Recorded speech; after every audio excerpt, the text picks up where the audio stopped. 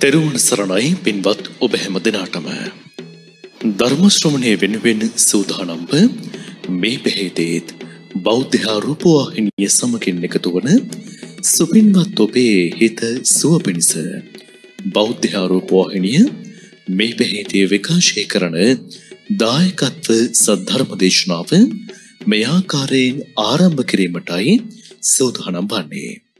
සදහැවතුනි මේ උතුම් වූ දේශනාව වෙනුවෙන් සිදු කළා වූ ආරාධනාව පිළිගෙන ධර්ම සභාවට වැඩම අවදාළ පූජ්‍යපාද කෝරළයාගම සරණතිස්ස පින්වත් ස්වාමින් වහන්සේ අපි පළමුවෙන් සාදු නතින් පිළිගනිමු. අවසරයි අපේ හාමුදුරුවනේ. සාදු සාදු සාදු.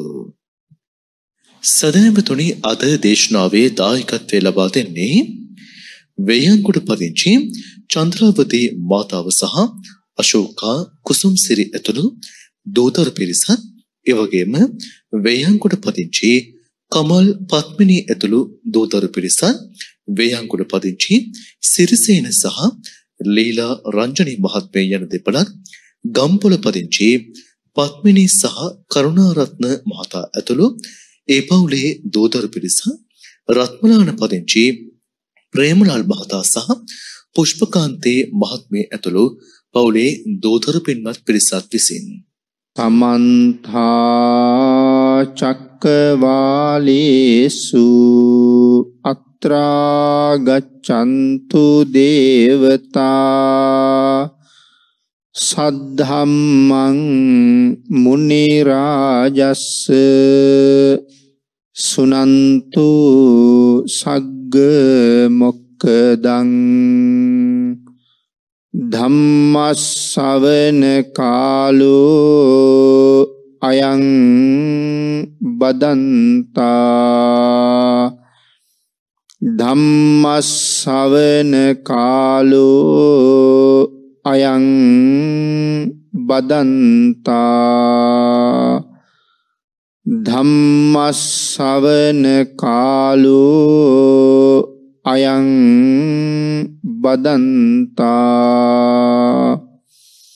නමෝතස්ස භගවතු අරහතු සබ්බ දම්මිසු අපපටිහතඥානචාරස්ස දස බලධරස්ස චතුවේ සාරජ්‍ය විසාර දස්ස සබ්බ සත්තුත්තමස්ස ධම්මිස්ස රස්ස ධම්මරාජස්ස ධම්මස්සාමිස්ස තථාගතස්ස සබ්බඤුනෝ සම්මා සම්බුද්දස්ස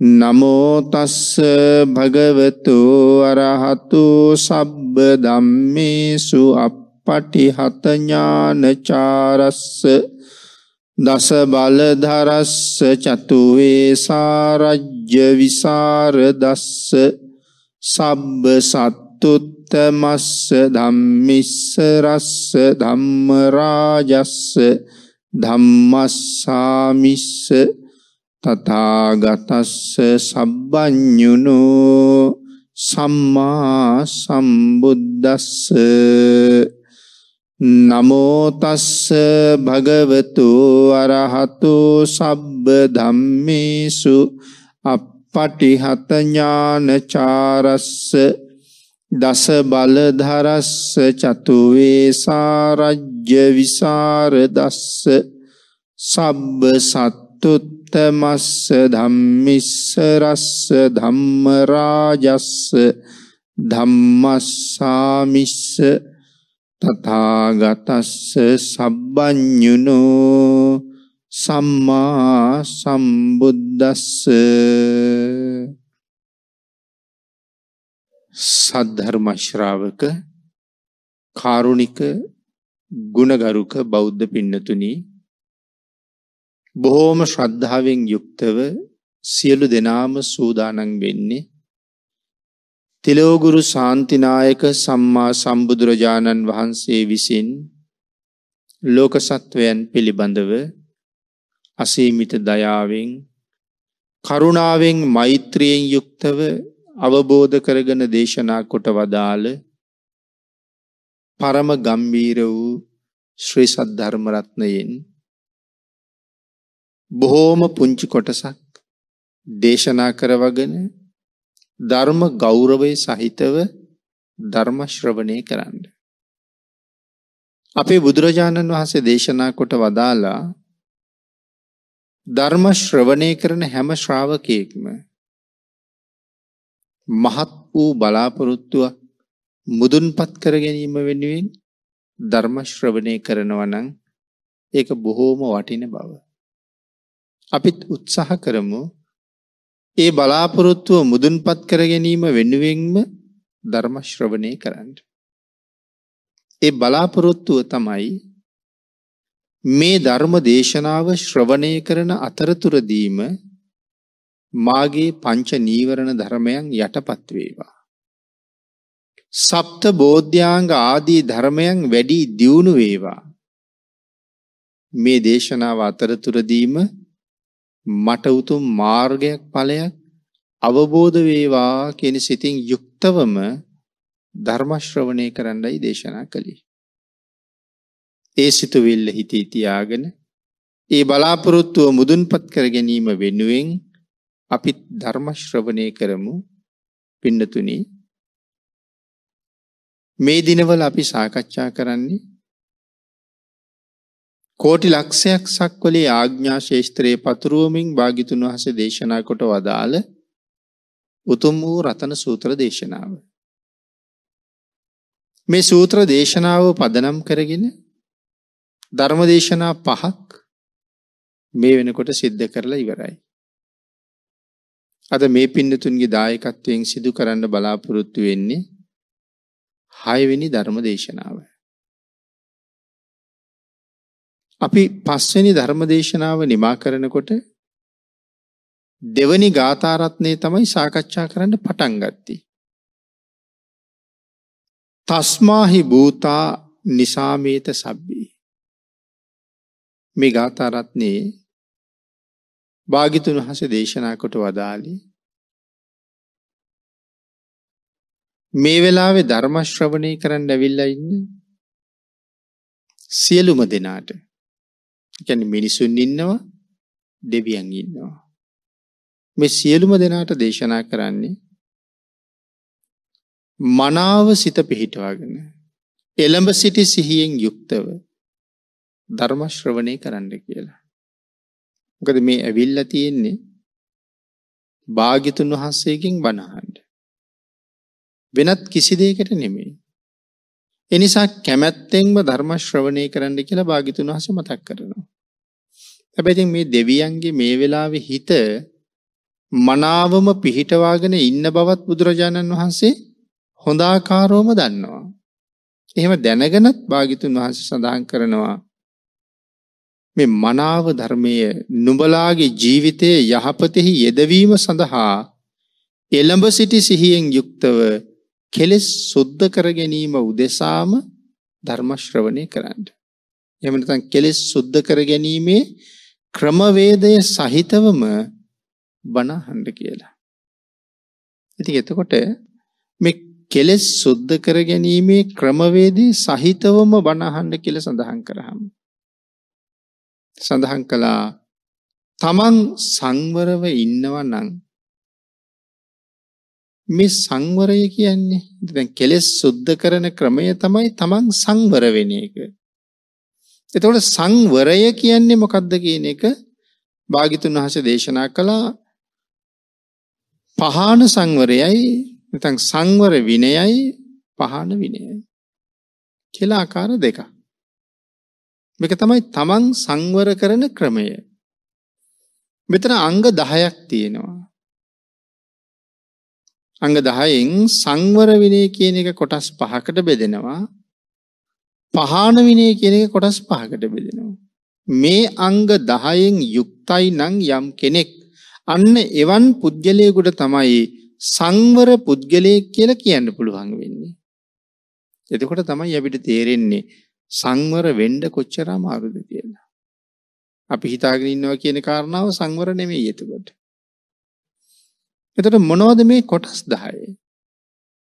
අපි චුට්ටක් ඒක දැන ගැනීම උදෙසා සාකච්ඡා කළොත් මොකක්දේ කොටස් දහය සඳහන් කරනවා සංවර විනය තුළ ආකාර පහක් තියෙනවා. සීල සංවරය සති සංවරය ඥාන සංවරය කන්ති සංවරය විරිය සංවරය. එතමයි සංවර විනය කියන කාරණාව ඇතුළේ තියෙන කොටස් පහ. එතට මොකක්ද සීල සංවරය කියල කියන්නේ. මනාව යම් කෙනෙක් සීලයෙන් යුක්ත වෙන බව. විශේෂයෙන් සඳහන් කරන ප්‍රාතිමෝක්ෂ සංවර සීලය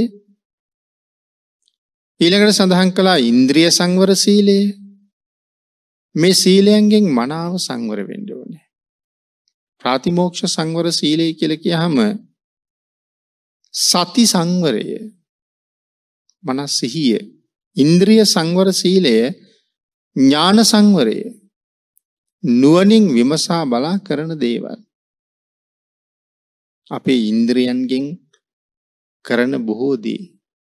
එක එක ඉන්ද්‍රියන්ගෙන් කෙරෙන කටයුතු තියෙනවා නේද? ඇහෙන් බලනවා කනෙන් අහනවා දිවෙන් රස විඳිනවා. නාසයෙන් ගඳ සුවඳ ආග්‍රහණය කරන මේ මේ වාගේ ඉන්ද්‍රියන්ගෙන් කරන කටයුතු තියෙනවා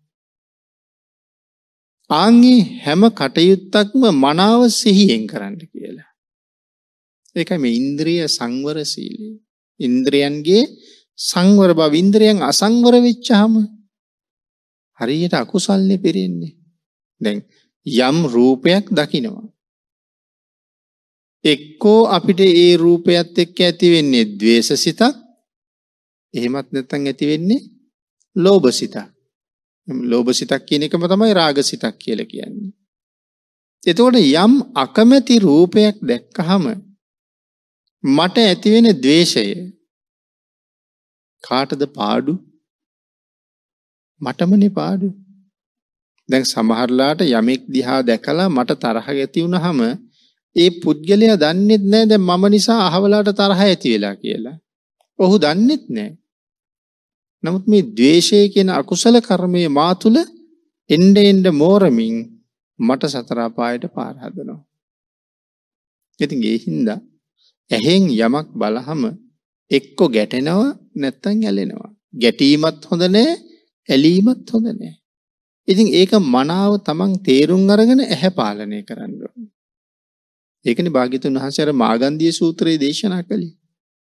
මාගන්දිය කියන බමුණා බුදුරජාණන් වහසට ගොඩක් බැන්න. ඇයි බයින්නේ ඉන්ද්‍රියන් සංවර කරගණ්ඩ කිව්වා කියලා. ඉන්ද්‍රියන් සංවර කරන්නඩිකුව කියල බනිනවා. ඇයි මිනිස්සුන්ට ඉන්ද්‍රියන් ලැබිල තියෙන්නේ සැප විඳින්ට කියල කියන්නේ. රූප හොයල රූප බලල දැක්කට වඩා ලස්සන රූප හොය හොයාගිහිල්ල බලල සතුටු වෙන්ඩ කියල තමයි මාගන්දියල කියන්නේ. බුදුරජාණන් වහස දේශනා කරන්න එහෙම නෙමෙයි. පාගිතුන් වහස යහනවා රූප හොයල රූප බලල රූප රසවිඳලා අන්තිමට රූපයේ ආදීනව දකිනකොට මොනෝද කියන්නේ. තැරගොලු ආදීනවේ ගැන කතාවක් නෑ. අන්න ඒ වගේ මේ හැම ඉන්ද්‍රියක්ම විවිධ පැතිවලට යනවා. ඒ පැතිවලට ගිහිල්ලා අකුසල්ම තමයි අරගෙන ආපහු එන්නේ. වැඩිපුර ගේන්නේ අකුසල්. එතකොට ඉන්ද්‍රිය සංවර සීලය කියලා කියන්නේ ආන්ගේ ඉන්ද්‍රියන් මනාව ආරක්ෂා කරන්න ඕනේ. පාපයට යා නොදී රැක ගන්න කියලායි මේ සඳහන් කරන්නේ. නුවණින් විමසා බලා කරන දේවල් ඉන්ද්‍රිය සංවර සීලයයි. කන්ති සංවරය. මොකද මේ කන්ති සංවරය කියලා කියන්නේ? ඉවසීම. ශාන්තිය තන් කන්ති ඉවසීම. මොනවද ඉවසන්ඩ ඕනේ? අව්ව ඉවසන්ඩ වෙනවා. වැස්ස ඉවසන්ඩ වෙනවා. එතකොට මැසිමදුරු ආදීන්ගේ කරදර ඉවසන්ඩ සිද්ධ වෙනවා. සතා සිව්පාවගේ සරපයාගේ කරදරේ ඉවසන්ඩ සිද්ධ වෙනවා. සමහරලාට එකට ජීවත්වෙන දුෂ්ට මිනිස්සුන්ගෙන් සිද්ධ වෙන හානි බලපෑම් ඉවසන්ඩ සිද්ධ වෙනවා. අපි ඉවසුවේ නැත්තං මොකද වෙන්නේ. ඉවසන්ඩ බැරිවෙච්ච තැන අකුසල්මයි. මදුරුවෙක් දෂ්ට කරනවා මට ඉවසන්ඩ වැරිවිච්චි ගම මං කරන්නේ පහරක් ගහනවා. ඉති ඒ මදුරුවාගෙන් තිබ්බ කරදරේ නං ඉවරයි. නමුත් මට ආත්ම ගානකට ඒවාගේ තැලිල මැරෙන්ට හේතුවක් හැදිලා ඉවරයි. එක වතාවක් නෙමේනේ සමහරලාට සියවත සියවර දෙසියවර තැලෙන්ඩ සිද්ධ වෙනවා සංසාරී. එයට මදුරුව තලල මරපු නිසා. ඊට අමතරව නිරේට ඇන්ඩ සිද්ධ වෙනවා. බාන්නක සංවර නොවිච්ච නිසා කොයි තරං දීර්ඝ කාලයක් අමාරු විදාගත්තද කියලා. එක මදුරුවටයි ගැහුවේ නවත් මට සිය දහස් වර ගුටි කණ්ඩ සිද්ධ වෙනවා. එකම නෙමේ මැරෙන්ඩම ගුටි කණ්ඩ වෙනවා. මැරුවනං අගේ නිසා ඉවසන්ඩ සිද්ධ වෙනවා. නරක මිනිස්සුන්ගේ නරක වචන ඉවසන එක හරි අමාරු වැඩක් ඔය නරක මිනිස්සුන්ගේ නරක වචන. මට බැන බැන පිටිපස්සෙන් එනකොට ඇහෙන්නෑවාගේ යන්න අමාරුයින්නේ. මොනවහරි කියන්නම තමයි මටත් හිතෙන්නේ. දි සන්තිමතම ඒ කියමන සමහට පොලිසියෙන් උසාවියෙන් අතරවෙන් තැන්ටනකං යනවා. නමුත් ඉවසන්ඩ කියල කියනවා. නරක මිනිස්සුන්ගේ නරක වචන කන්ති සංවරේ. සාරිපුත්තයන් වහන්සේගේ ඉවසීම මේ ලෝකෙ තව කවුරු උපමාව කරන්නද. මේ තරම්ම ඉවසනවා. තරහයන්නෙත් නාව භික්‍ෂූන් වහසට කියලා මිනිස්සු කිය හම එක බමුණෙක් කීවනි මම ඉවසීම නැති කරන්න මම බලන්නන් තරහයන් නැටි හෙති. කියලා වඩිනකොට පිටිපස්සෙන් දුවගෙන ගිහිල්ලා අයියෙන් පාරක් පිට මැද්දර ගැහුවා. හැබැයි ඇරිලවත් බැලුවේ නෑ. බමුණ බලාගෙන හිටිය දැම් බැලලව දැම්බනී දැම්මටි දැම්බනී මට කියල. හැරිලවත් බැලුවෙනෑ. බමුණ ආය පිටි පස්සෙන් දීවා.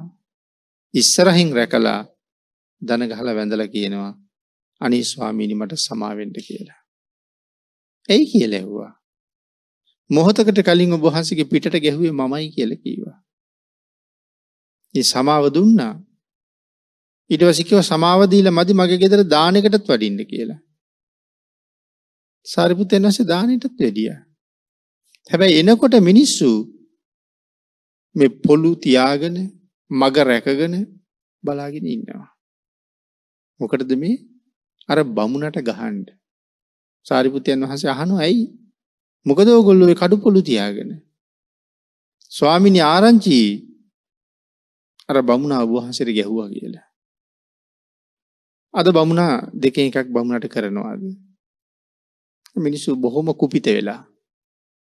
සාරිපුත්තයන් වහන්සේ හනවා ගැහුවේ මටනේ ඒක බමුණයි මායි බලාගත යුතු දෙයක්. එඳ ඔගොල්ල යන්න කියලා. ඒවාගේ මහ පුදුමාකාරී වෙසිල්ල. හැරිලවත් බැලුවේ නෑනේ. අපිටත් එහෙමනි පින්නතුනි. දැන් අපිට තව කෙනෙක් ඇවිල්ල කියනවා සමහරු ඉතින් ඕගොල්ලන්ට මෙහෙම මෙහෙමත් කියනවා. කියලා නොයෙක් දේවල් කියන අය ඉන්නවනේ. එතකොට අපේ තියෙන තණ්හාවට අපිට උවමනා කවුද කවුදේ මට එහෙම කිව්වේ? කවුද කිව්වේ කියලා මම හොයනවා. දැන් දැනගත්තාම අහවලයි එහෙම කියලා තියෙන්නේ කියලා ඔහු සම්බන්ධයෙන් මගේ හිතේ ඇති වෙන්නේ මොකද්ද? තරහක්නේ. ඒ තරහ කවදාවත් මට හොඳක්ද? ඒ හින්දා මට බැනපු කෙනා කවුද කියලා අහනවට වඩා හොඳයි ඒක කියන්න එන කෙනාට කියනවා මේ මට එහෙම කිවේ කවුද කියන කාරණාව මට කියන්න එපා.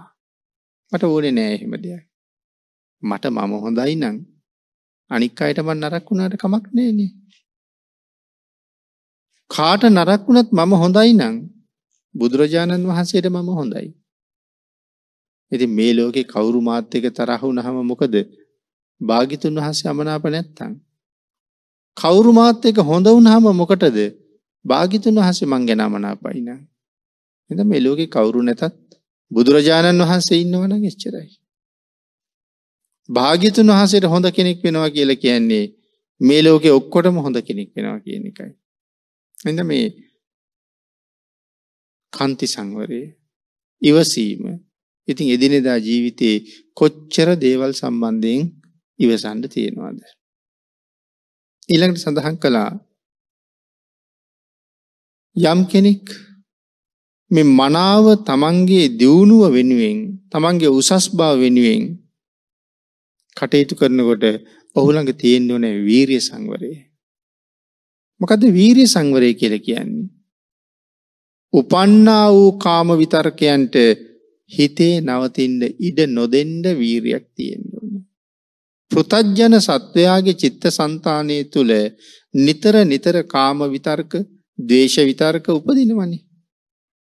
එතකොට මෙතන සඳහන් කරනවා ඒ විතර්කයට තමන්ගේ හිතේ නවතින්ට ඉඩ දෙන්න එපා කියලා. මත කාම සිතුවිල්ල හිතේ නවතිනව කියල කියන්නේ දැඩි අනර්ථයක් කරලාම තමයි ඉවර වෙන්නේ එක. එහින්ද භාගිතුන් වහස දේශනා කරනවා ඒක වහාම හිතෙන් බැහැර කරන්න ඕන. නැවත නූපදින්ටම බැහැර කරන්න ඕන. අර අපි අපේ රටේ භික්‍ෂූන් වහන්සේ නමක් පින්ඩ පාතය වඩිනකොට තරුණ හාමුදුරු නමක්. උන්වහසේ ගමේදි දැක්කා තරුණ කාන්තාවකගේ නොදැකිය යුතු තැනක් උන්වහසේ දැක්කා. දැක්ක ගමන් රාගසිතක් ඇති වුණා. හැබැ රාගසිත උපදිනකොටම උන්වහසේ එතනම නතර වුණා. නතර වෙලා මනාව සිහිය පිහිටෙව්වා මේ ආවේ රාගසිත. මේක මහා අකුසල් හිතක්. මේ රාගය සිත නැවත නැවත මට උපදින්න පටන්ගත්තොත් මට ආය ආය වැඩෙන්නේ අකුසල්මයි. උන්වහන්සේ පින්ඩ පාති වඩින්න එක නවත්තලා එතනම හිටගෙන පිළිකුල මෙනෙහි කරලා අර උපදිච්ච රාගසිත යටපත් කළා.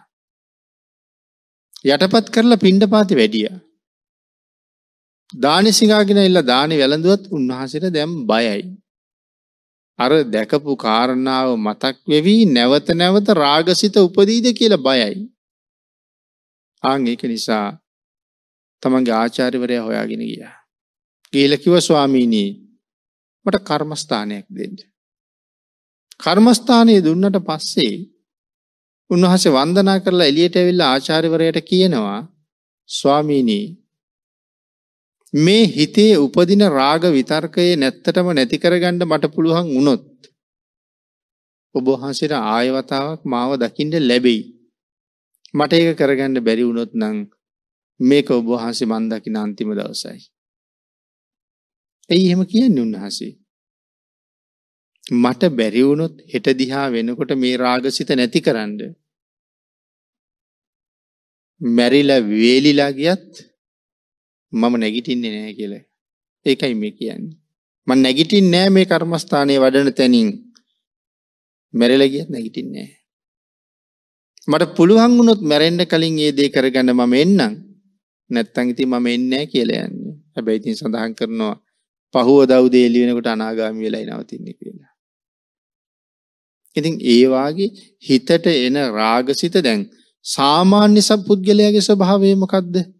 ඒ රාගසිත මෙනෙහි කර කර රස විඳිනවා ඒක. ඒක තමයි සාමාන්‍ය පෘථජ්ජනයාගේ හැටි. නමුත් ඒ රාග සිතත් එක්ක මෙනෙහි කර කර ගත කරන ගත කරන කාලය අපිරිසිදු කාලයක්නේ. අකුසල් සහිත ගෙවෙන කාලයක්. නිරය පැත්තට තමයි යන්නේ. අපි හැමෝ මෙහෙමනි. අපේ ජීවිතේ පොඩි කාලයයි නිවන පැත්තට යන්නේ. වැඩි කාලයක් අපි යන්නේ නිරේ පැත්තට. ඉතින් ඒ නිසා මේ රාග සිත මෙනෙහි කර කර ගත වෙන කාලයත් නිරේ පැත්තටම යන කාලයක් ආගේ නිසා සඳහන් කළ වීරිය කරන්න රාගසිතෙන් මිදෙන්ඩ. දේශසිතෙන් මෝහසිතෙන් මිදෙන්ඩ වීරය කරන්න ඕන එනිසා සඳහන් කළා පජානාති. ඇයි මේ පජානාති කියල කියන්නේ. මුලින් සඳහන් කළමකට නාදිවාසේති. මොකද මේ නාදිවාසේති කියන වචන තේරුම නාදිවාසේති කියලා කියන්නේ පෞකාර සිතුවිල්ලට හිත ඇතුළේ ඉන්ඩ ඉඩ දෙන්නේ නෑ කියන එක. නාදිවාසේති. ඊළඟට සඳහන් කලා පජහති පජහති කියල කියන්නේ ඒ පෞකාර සිතුවිල්ල තමන්ගේ හිතෙන් ඉවත් කරනවා. හිතේ ඉන්ඩ ඉඩ දෙන්නේ නෑ හිතේ ඉන්ඩ ඉඩ නොදී පෞකාර සිතවිල්ල තමන්ගේ හිතෙන් ඉවත් කරනවා. අපිකිමුගේ ඇතුළට සර්පයෙක් ඇවිල්ල. ඒ සර්පයට ගේ ඇතුළ ඉන්ඩ ඉඩ දෙන්නේ නෑ අපි කැමතිනෑ සර්පයගේ ඉන්නවාට. සර්පයාට ගේ ඇතුළේ ඉන්ඩ ඉඩ නොදී සර්පයා ගෙදරින් ඉවත් කරනවා.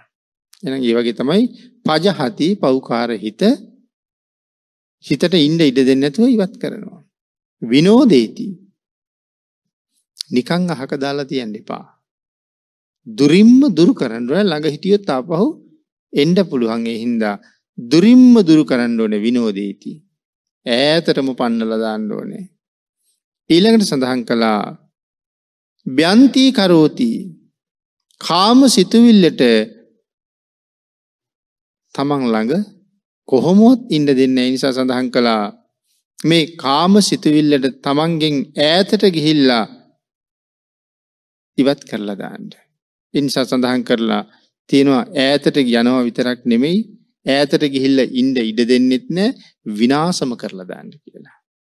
තමන්ගෙන් ඉවත් කරලා ඈතටම දාලා විනාසම කරලා දාන්න කාම සිතුවිල්ල. අනභාවන් ගමේති කියල කියන්නේ නැවත නූපදිනාකාරයට විනාස කරන්න. එකන රහත් බෞදක්වාම යන්ඩ නැවත නූපදිනාකාරයටම ක්ලේසේ විනාස කරන්න. ඉතින් ආය උපදින්නේ නැතිවෙන්ඩ කෙලෙස් විනාස කරනවා කියල කියන්නේ ඒක රහත් භවින්මද කරන්න වෙන්නේ. රහත් වෙන්න මොන එක කරන්න. අං ඒ විදියට මේ ක්ලේෂයන් බැහැර කරන්න වීරිය කරන්න. ඉති මේක තව විදිහකට කෙටියෙන්ම කියනවනං මේ සංසාරෙන් එතර වෙන්න වහවහා වීරිය කරන්න කියන කාරණාවයි භාගිතුන් හසම කියන්නේ. ඊළඟට සඳහන් කළා මේ ධර්මය ආං එහෙම මනාව සීලයක පිහිටලා මනාව ශ්‍රවණය කරන්න. තැම අපි පහන විනි ආකාර පහන මේ කතා කළේ. මනාව මනාව මේ ධර්මය ශ්‍රවණය කරන්න. මේ සංවර පහෙන් මනාව ශ්‍රවණය එක එකන බණ අහන්ඩ කියන්නේ මේ කරුණු පහත් එක්ක. ප්‍රාතිමෝක්ෂ සංවර සීලය ඉන්ද්‍රිය සංවර සීලය මේ ආදී සීලයන්ගෙන් යුක්ත වෙලා. මනාව නුවනින් මෙහෙයවලා ඉවසීම ඇති කරගෙන කන්තිය සහිතව ඉවසීම ඇති කරගෙන සඳහන් කළා වීර්යවන්තය කැටියට බණහන්ට. ආං එහෙම මනාව බණහන කෙනෙකුට තමයි නිවැරදිවම ධර්මය ශ්‍රවණය කරපු කෙනෙක් බවට පත්තෙන්ට පුළුවන්කම තියෙන්නේ. හරියටම බණක් අහනුවනං මාර්ගඵල උදෙසා බණක් අහනුවනං වෙන්ඩෝනෙ කොහොමද කියන කාරණාවයි මේ සඳහන් කරලා තියෙන්නේ. ඊළඟට සඳහන් කරනවා පින්නතුන මේ කාරණාවන්ගේ මුල් කාරණා පහපි සාකච්ඡා කළේ දෙවනි කාරණා පහේ පැහැදිලි කරනවා මනාව තමන්ගේ හිත සංවරයි කියල කියන්න පුළුවන් වෙන්න නම් ඉතුරු කාරණා පහත් සම්පූර්ණ වෙන්න ඕනේ. මුල් කාරණා පහෙන් තමන්ගේ ජීවිතය සකසා ගැනීමට අවශ්‍ය කරුණු එමතන් තමන් යහපත් ලෙස මෙහේවා ගැනීම සඳහා අවශ්‍ය කරුණු අත්ත සම්මා පනිදී කියලා අපි සඳහන් කරන්නේ. තමන්ගේ ආත්මය මනාව මෙහයවන්ඩ අවශ්‍ය කරුණු. මෙව තරමක් සමහරලාට ගැඹුරු කරුණු. තමන්ගේ ආත්මය මනාව මෙහෙයවනවා. මොකද ආත්මය මනාව මෙහෙවනවා කියල කියන්නේ. අකුසලයට යා නොදී හැම වෙලායිම මේක රකිින්ඩුවන. ත අපි කරත්තේ කරත්තේ බැඳගෙන යනකොට සතාට ඕන පැත්තට යන්න දෙන්නේ. අපිට ඕන පැත්තට හරි මාර්ගය ගෙනියන්ඩ අපි හැමවෙලා මේ සතා මෙහෙවනවා. අංගේවාගේ ඉතාම දුර්ලබයි මනුස්ස ජීවිතය බුද්ධාන්තරය හම්බුනෙත් පරම දුර්ලභ විදිහට ඒ දුර්ලභ මනුස්ස ජීවිතය ලැබිල තියෙන වෙලාවේ බුද්ධාන්තරයත් මුණගැහිල්ල තියෙන වෙලාවේ අකුසලයක් කරලා නිරේට යන්ඩ දෙන්න ඇතුව තමන්ගේ හිත මනාව පාලනය කරගන්නවා. මනාව යොදෝනවා කියන එක තමයි අත්ත සම්මා පනිදී. තමන්ව මනාව තබා ගැනීම. දෙනම් ඒ මනාව තබාගණ්ඩ විශේෂයෙන් සීලය දියුණු කරගෙන සීල මට්ටමක තියෙන්ට ඕනේ. ඊළඟට පින්නදනි තවත් කරුණු කීපයක් සීපත් කරලා තින දුස්සීල වූ තමා සිල්වතකවීම. තමන්ව මනාව තියාගණ්ඩ නම් දුස්සීල වෙච්ච තමන් වහාම සිල්වත් බවට යන්ඩෝනෑ. ශ්‍රද්ධාව නැති තමන් වහාම ශ්‍රද්ධාවට එන්ඩෝනෑ. මසුරු වූ තමන් ත්‍යාගවන්තයෙක් වෙන්න ඕනේ. මේ තමන් මනාව පවත්ව ගන්න ක්‍රම මේ සඳහන් කරලා තියෙන්නේ. දුස්සීලයි නම් සිල්වත් වෙන්න, මසුරුයි නම් ත්‍යාගවන්තයෙක් වෙන්න, ශ්‍රද්ධාව නැත්තම් ශ්‍රද්ධාවන්තයෙක් වෙන්න ඒක තමයි මනාව පිහිටවා ගැනීමේ තවත් කරුණු හැටියට පෙන්නනවා. ඊළඟට සඳහන් කරනවා පින්නතුනි දුසිල් බව මෙලව මහා කරදර රැසකට අපි භාජනය කරනවා කියලා. දුස්සීල බව. ඉතින් මේ දුස්සීල කියන වචනය කරුණු ගොඩාක් යටතේ පැහැදිලි කරන්න පුළුවන් වචනය. දුස්සීලයා. කාටද දුස්සීලයා කියලා කියන්නේ? දැන් ගිහි අයගේ පැත්තෙන් ගත්තොත් පන්සිල් නැත්තම් දුස්සීලයි කියලා කියන්න පුළුවන්. භික්ෂූන් වහන්සේලාගේ පැත්තෙන් ගත්තොත් සාමණේර ස්වාමින් වහන්සේලා නම් උන්වහන්සේලා ආරක්ෂා කරන සීලය දස සිල්නේ. සාමණේර ස්වාමීන් වහන්සේලාගේ සීලය දස සිල්. හැබැයි ඒක ගිහි අය ආරක්ෂා කරන දස සීලයට වඩා හුඟක් සංකීර්ණ සීලයක්. සිල්පද 10ම ගිහි අය සමාදන් වුණත් සාමණේර ස්වාමින් වහන්සේලා සමාදන් වුණත් සිල්පද 10ම එකයි ඒ සිල්පදවල වෙනසක් නැහැ. එතකොට ඇයි සංකීර්ණ වෙන්නේ? සංකීර්ණයි කියලා සඳහන් කළේ දැන් ගිහි කෙනෙක් සිල්පද 10ම සමාදන් වෙලා එක සිල්පදයක් කැඩුනොත් එයාට සිල්පද 9ක් ඉතුරු වෙලා තියෙනවා. හැබැයි එහෙම නෙමෙයි. සාමණේරයන් වහන්සේ අතින් එකක් කැඩුනොත් පන්සිල් වලින් එකක් කැඩුනොත් ඉතුරු සිල්පද 10ම කඩා වැටෙනවා. තිසරණයක් නැතුව යනවා. පැවිදි කළපු ආචාර්යවරයාගේ ඒ ආචාර්යත්වයත් නැතුව යනවා. පොරවන සිවුරු පිරිකර ආදී සියල්ලගම අයිතියා හෝසි වෙනවා. වැඩ ඉන්නේ සංඝ සතු කුටියක නම් ඒ කුටියේ ඉන්න තියෙන අයිතිය නැතුව යනවා. ඒ බොහෝ දේවල් උන්වහන්සේට අහිමි වෙනවා. ඒතර මොන සිල්පදේද කැඩුනේ වහාම ගුරුවරයාට කියලා අපව සිල් සමාදන් වෙන්න ඕනේ. ගිහි කෙනෙකුට නම් තමන් අතින් සිල්පදයක් කැඩුනා නම් තමන්ටම සමාදන් වෙන්න පුළුවන්. නමුත් භික්ෂුවකට එහෙම බෑ.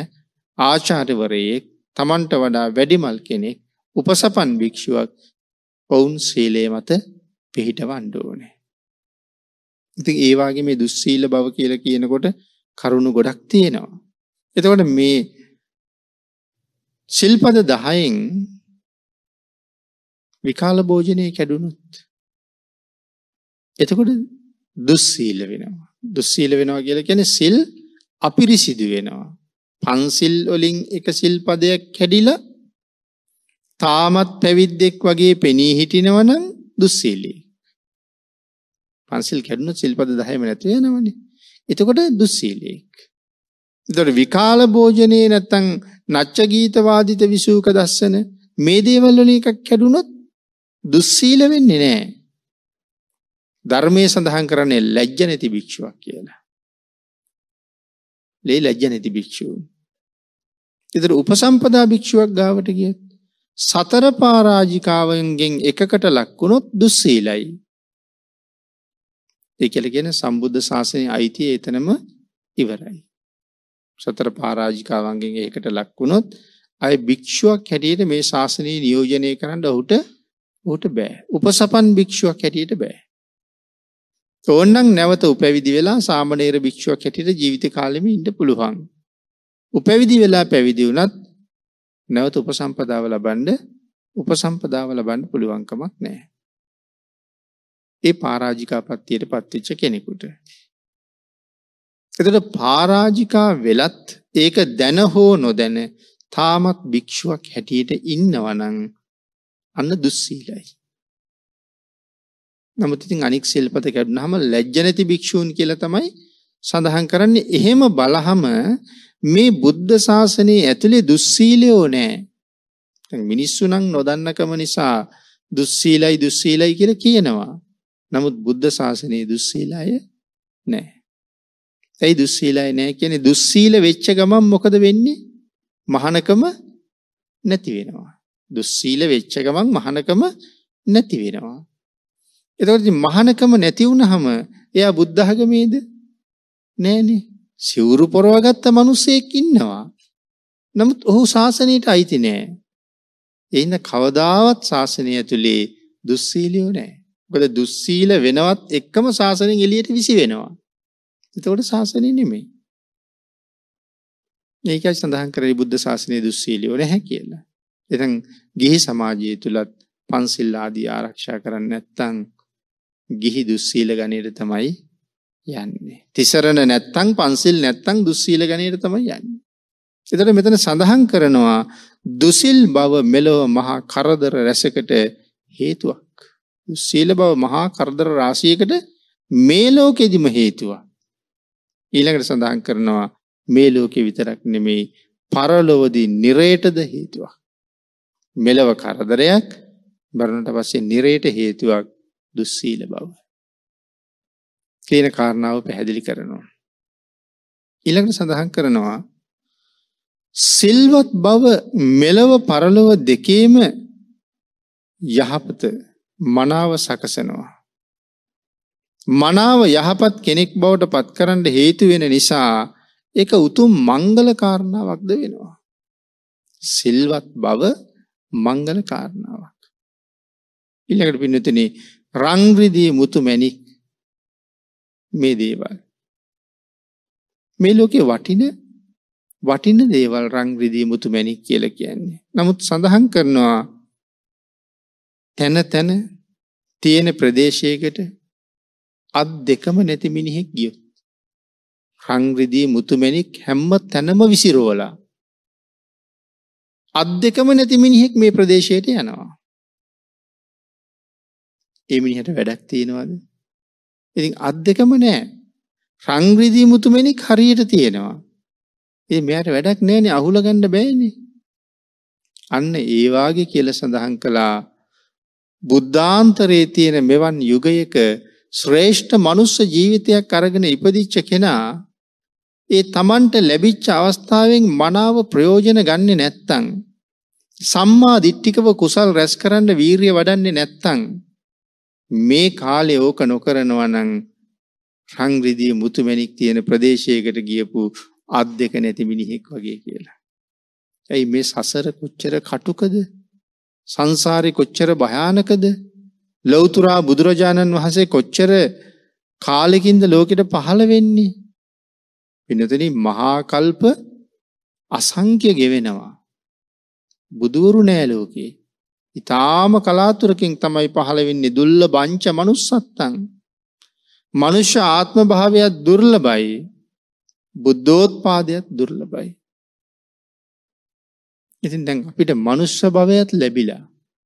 බුද්ධෝත්පාදයක් ලැබිලා නිකං හිතන්නකො සම්මාධිට්ටික බවත් ලැබිලන්නේ.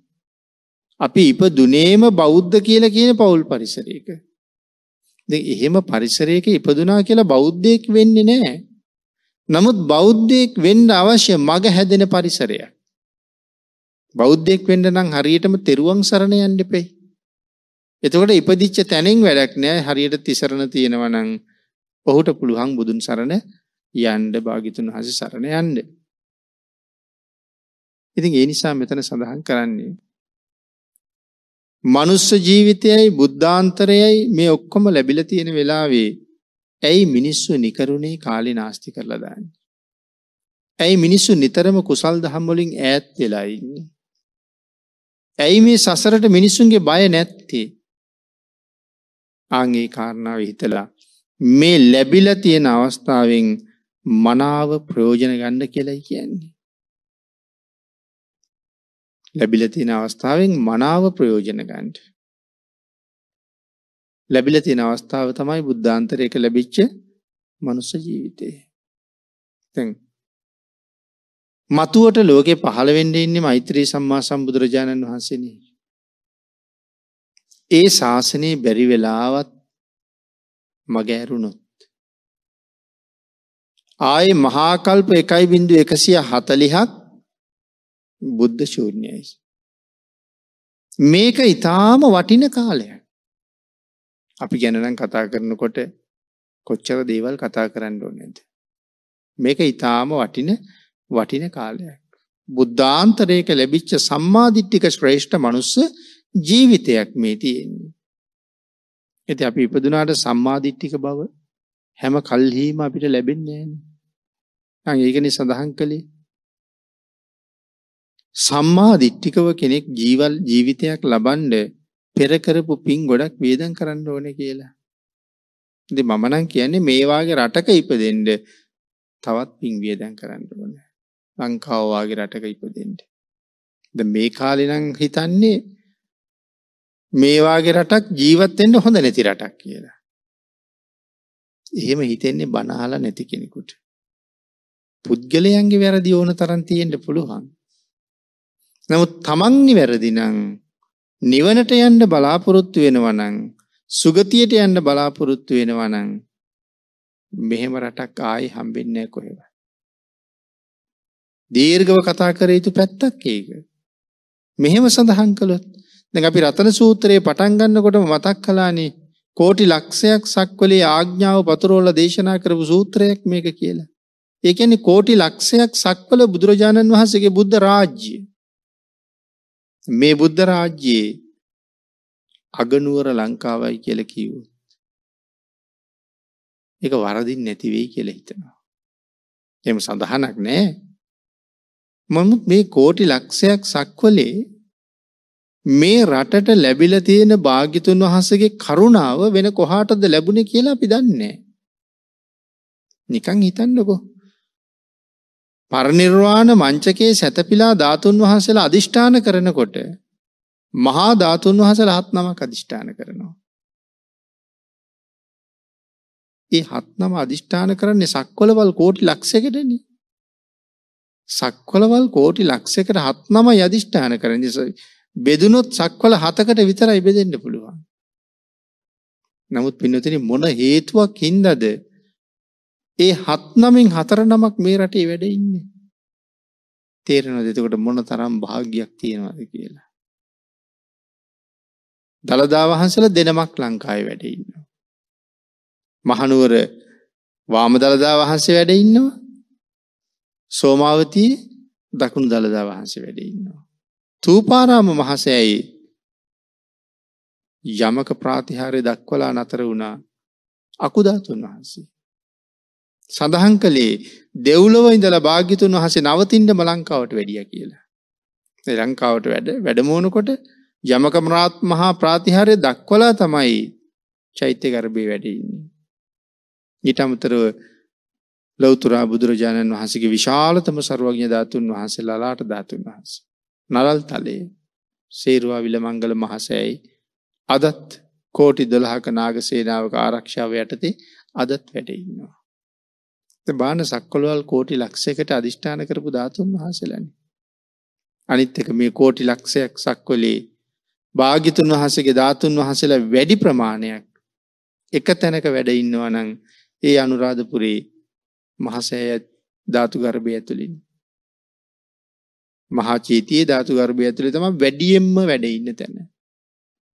ඊට අමතරව ලංකාව ගැන කල්පනා කරහම අපි ගමනක් යන්න කියලා නමුත් අපේ ගෙදරින් එලියට බැස්සහම හැතැක්මක් හමාරක් යනකොට පන්සලක්. හැතැක්මක් හමාරක් යනකොට පන්සලක්. ඒ හැම පන්සලකම චෛත්‍යවල්. සුදෝ සුදුවට අහස උසරගොඩ අහසත් නැගිලා මේ සෑයි ඇතුළි ධාතුන් වහසල දරාගෙනන වැඩඉන්න.